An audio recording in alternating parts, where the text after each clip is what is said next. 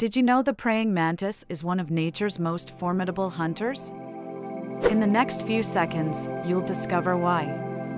Praying mantis is famous for its unique praying posture. Their front legs are bent and held together as if in prayer.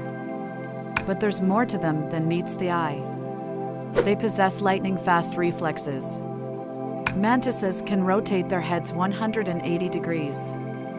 This gives them an excellent field of vision their camouflage is top notch. They blend seamlessly into their surroundings. Here's a cool fact they can even eat prey larger than themselves. Female mantises are known to be cannibalistic. They might eat the male after mating. Fascinating, isn't it? Next time you see one, remember they're nature's stealthy predators. Like what you see? Subscribe for more.